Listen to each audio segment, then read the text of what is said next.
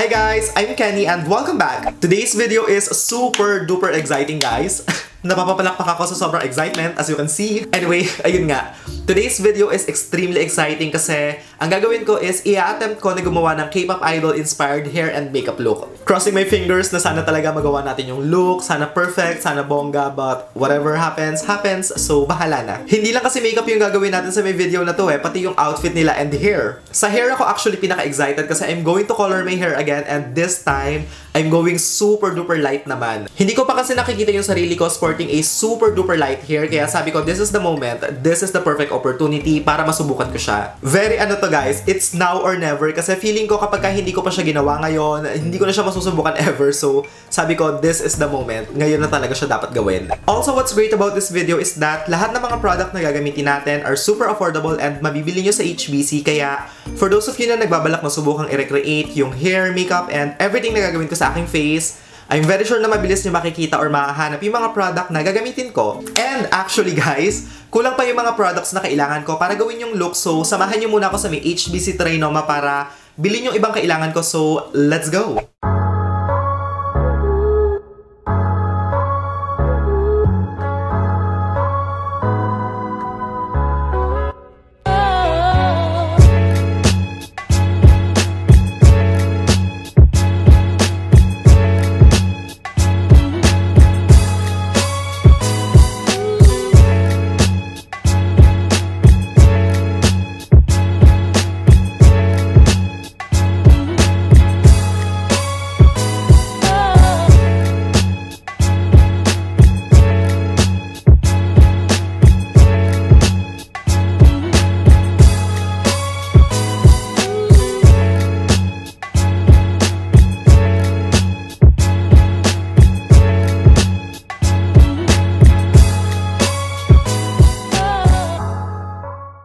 Okay, so I'm finally back home. Obviously, nandito na ako sa aking filming area and before tayo mag-start sa pagkukulay ng buhok, I'm gonna show you first yung mga product na nabili ko from HBC Trinoma. So, mag-ano muna tayo, parang mini haul. So, eto guys, yung receipt ng mga napamili ko and guess what?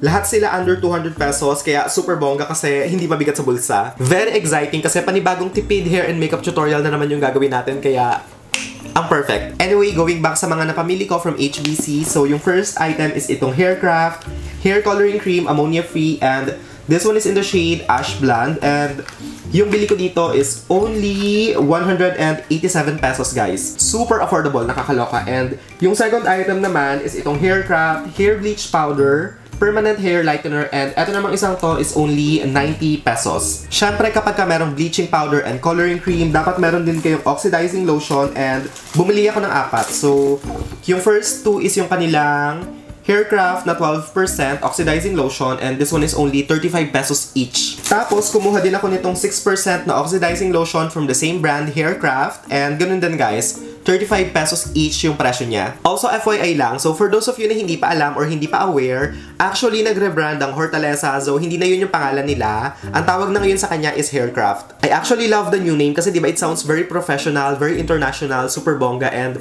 sobrang catchy. So ayun guys, for those of you na pupunta ng HBC para bumili ng Hortaleza product, iba na yung pangalan niya, Haircraft na yung tawag sa kanya. Going back sa may haul, so aside sa may pangkulay, bumili din ako ng tools and yung first tool na kinuha ko is itong kanilang comb for hair coloring and this one is only 28 pesos. Kumuha din ako ng kanilang mixing bowl which is only 48 pesos and ang maganda sa dalawang to is that reusable siya kaya pwede nyo gamitin ng paulit-ulit so ang tipid talaga. Kumuha din ako ng gloves and this one is only 18 pesos para mamaya kapag ka nagkulay tayo, hindi malagyan ng pangkulay yung kamay natin.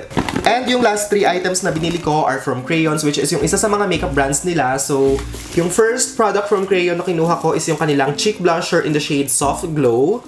Kumuha din ako ng kanilang pressed powder in the shade Fair Lady and lipstick in the shade Lolita Red Lips. Also, you can get this bag nga din pala sa may HBC for only 250 pesos and no minimum purchase required. Kaya, kung gusto nyo siya and if you like the style, kasi super ganda ng quality niya and very sturdy, I suggest na bumili kayo kasi ang mura lang guys, 250 and no minimum purchase required. Okay, last na guys. So, before tayo mag-start sa pagkulay ng buhok, I just want to say thank you sa may mga staff ng HBC Trinoma kasi super babait nila. If you have questions, if you need assistance, nandiyan lang sila, tutulungan kanila. So, huwag kayong matakot, huwag kayong mahiya. And again, thank you so much po sa pagtulong sa akin sa pagbili or pagpili ng mga product na binili ko. Oh, my god, kinakabahan ako guys, but excited at the same time kasi eto na, magkukulay na tayo ng buhok and magsa-start tayo sa pag-bleach ng aking hair. Actually, dito sa may part na to, ang goal ko lang talaga is medyo maglighten yung kulay ng aking hair kasi as you can see, super dark niya. So, I guess ang gagawin ko lang is isang round ng bleaching but who knows, ba? Baka mamaya maisipan ko na magpangalawang round, so bahala na. Feeling ko kasi kapag dumiretso na tayo sa may ash blonde tapos black yung hair na base natin, hindi ganun ka-intense or ka-light yung magiging kulay niya kaya sabi ko medyo ilalighten ko muna siya using this Haircraft na bleaching powder. By the way, heads up lang, I am not a professional hair colorist, so I'm just doing this kasi ganito yung klase ng pagkukulay ko sa bahay. So, please do this at your own risk. If you have sensitive skin, I suggest na mag-ano muna kayo, patch test sa may skin or sa may scalp para ma-feel nyo or malaman nyo kung okay ba yung reaction ng product sa may skin nyo and also sa may hair. Or kaya naman kung may kilala kayong marunong magkulay, I suggest na magpatulong na lang kayo para mas mabilis and hindi kayo magka-problema. Again, I'm going to start by bleaching my hair and yung product na gagamitin natin is itong Haircraft Hair Bleach Powder tapos hahaluan natin siya nitong Haircraft na oxidizing lotion in 6%. So, ang gagawin ko guys is ilalagay ko lang itong bleaching powder sa aking mixing bowl yung isang buong ano guys, sachet. Then after that, ihalo lang natin tong oxidizing lotion in 6% and dalawa yung gagamitin ko.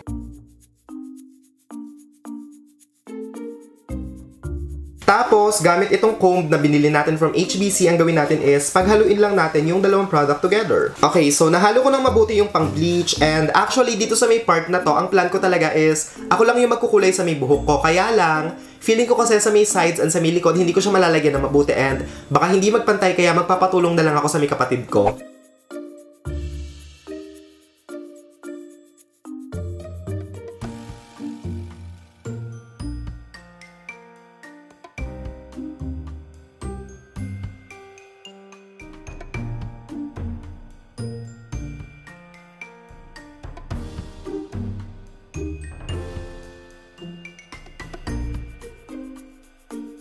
Okay guys, so we are almost complete sa pag-bleach ng hair and usually kapag ka nagbi-bleach, yung iba nilalagyan pa ng foil yung hair para mas mabilis siyang kumapit. But sa akin, since napansin ko na ano na yun, naglalighten na yung kulay ng buhok ko, hindi ko na siya lalagyan. So, papabayaan ko na siyang ganyan. Tatapusin muna namin to and ibababad ko sa hair ko for around 25 to 30 minutes. Then after nun, magpo-proceed na tayo sa pag-apply nitong Haircraft na hair coloring cream in the shade 7.1 Ash Blonde. Oh my god guys, eto na yung itsure ng hair ko after bleaching and super light na niya, nakakaloka. This is my first time seeing myself na ganitong kalight yung buhok and in all fairness guys, I like it. Anyway, as you guys can see, dito sa may upper part ng aking buhok, hindi ganun kalight yung kulay niya compared sa may side and yung reason kung bakit is because nagkulay kasi ako dati. Parang medyo nahihirapan yung bleach na ilighten yung kulay niya kaya sabi ko parang ano na lang, papabayaan ko na siyang ganyan kasi feeling ko ano naman, okay na siya. Dito sa may side, nakadalawang session lang kami ng bleaching and when you look at it, sobrang even na and talagang light yung kulay niya. So, kung ano naman, parang hindi treated yung hair niya or kaya walang kulay before, kahit dalawang round lang ng bleaching, okay na okay na guys. And ma-achieve nyo na yung ganitong kulay. Dito naman kami sa may upper part ng aking hair. Actually, pinaka nahirapan kasi it took us parang 4 sessions para ma-achieve to. Ipa-flash ko na lang siguro sa may screen yung itsura ng buhok ko after 2 sessions. Kasi guys, kapag ka nakita nyo siya, super dark pa talaga. Kaya kailangan talaga kapag ka treated or may kulay yung buhok nyo, paulit-ulit yung pag-bleach. Kasi kung isang round lang or kaya dalawa, wala hindi siya magiging light. To be honest, kanina kinakabahan ako kasi sabi ko talaga nung dark pa yung kulay nitong part na to, parang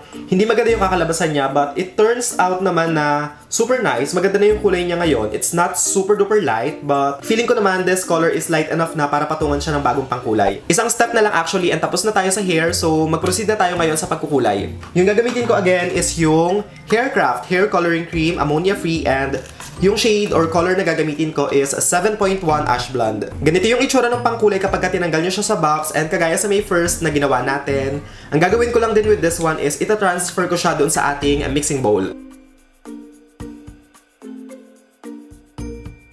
If you have sensitive na pang-amoy, this one is perfect kasi hindi siya masakit sa ilong kasi 'di ba usually kapag ka mga pangkulay sobrang strong or intense nung scent niya but this one it's actually super nice. Hindi masakit sa ilong yung amoy niya, hindi siya matapang, so you don't have to worry kasi hindi siya nakakahilo. Dun sa may bleaching powder, ang ginamit natin is 6%, but this time for this hair coloring product, ang gagamitin naman natin is yung kanilang oxidizing lotion in 12%.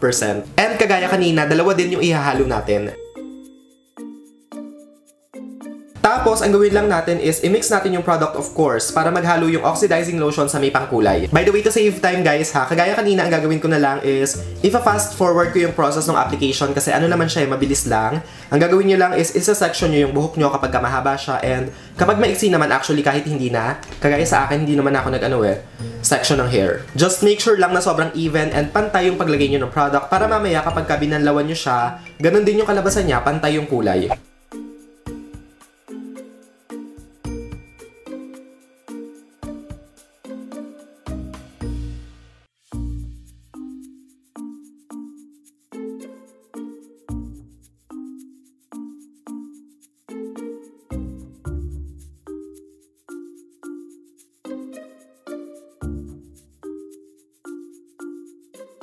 We are finally done coloring my hair and I'm super excited kasi nakikita ko na yung result guys. Nagiging gray na yung kulay niya. So, this time what I'm gonna do is iiwan ko muna siya sa aking hair for about 25 to 30 minutes then i-rinse ko na din siya off camera. After so many hours of coloring and bleaching my hair, eto na guys, this is the final result.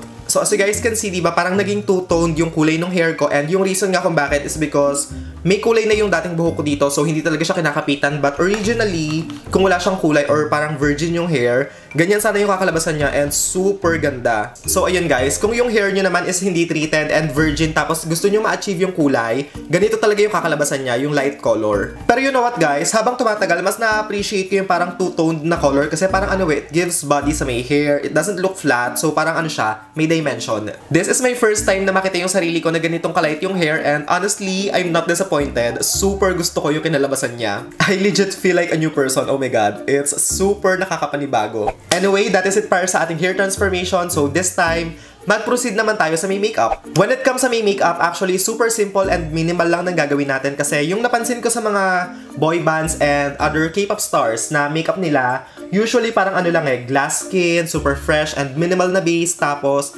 naglalagay lang sila ng konting eyeshadow. To save time off camera ko na ginawa yung kilay ko so diretso na tayo sa may foundation and yung gagamitin ko today is itong crayons na BB cream. And to apply this on my face, gagamit lang ako ng dense na foundation brush.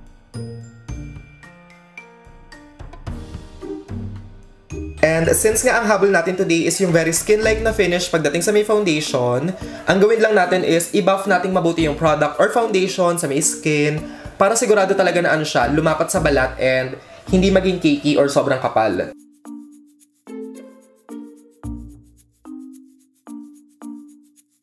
Tapos, idrag lang natin yung foundation papunta sa neck para maging sobrang even and pantay nung itsura niya. And this time, punta lang tayo sa ating beauty sponge and i-blend pa natin ng konti yung foundation.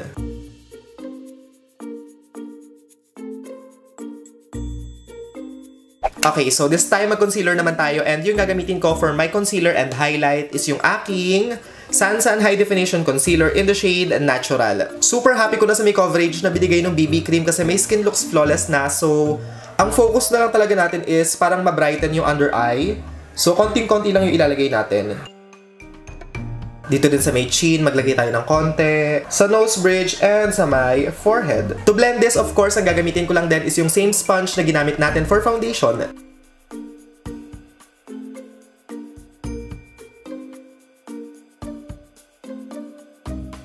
To set my face, ang gagamitin ko ngayon is yung nabili ko na crayons pressed powder in the shade Fair Lady. And to apply this on my face, gamit lang tayo ng large powder brush and ipress lang natin siya.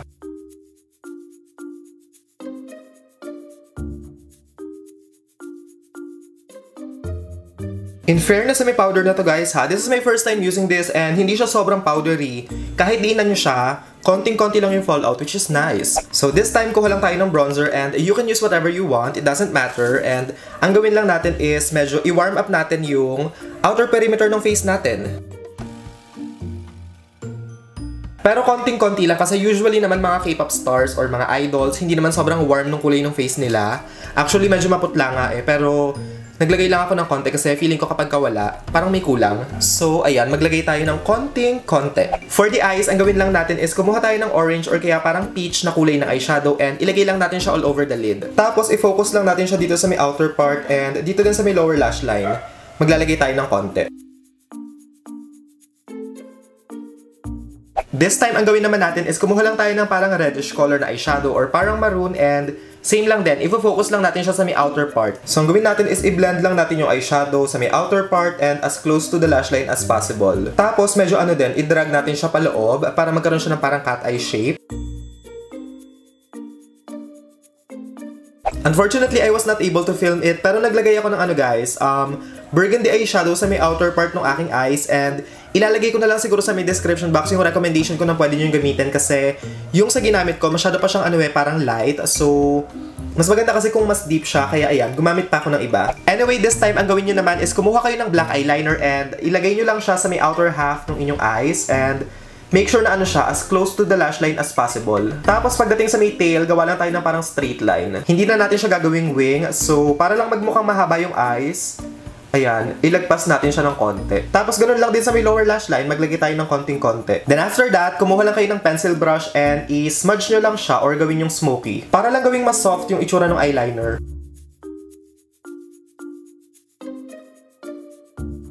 So this time, i-contour naman natin yung nose para mas magmukha siyang slim and snatched.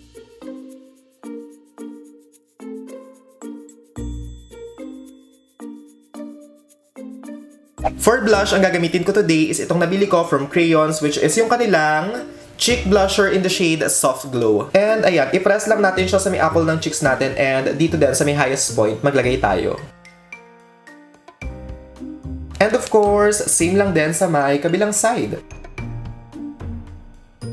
In fairness, I like this blush. Maganda siya guys kasi meron siyang ano eh, shimmer kaya nagbibigay siya ng glow kapag nilagay sa cheeks and pinong-pino siya kaya hindi niya na-emphasize yung texture. I highly recommend this one. So this time, kumuha lang tayo ng highlighter and any highlighter will do kung ano yung meron kayo, ayun na lang, or kung ano yung gusto nyong gamitin. Tapos ang gawin natin sa may highlight is i-buff lang natin siya sa may highest points ng ating face or dun sa mga areas na tinatamaan ng ilaw. Pero konti lang guys ha, wag natin gawing super duper intense kasi ang habol lang natin is yung magmukhang glowy yung ating skin.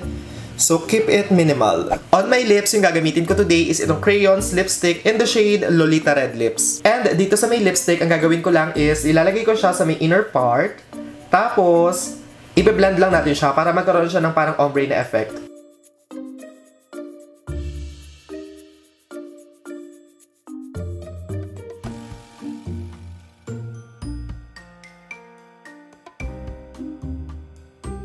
Okay guys, this is the finished look.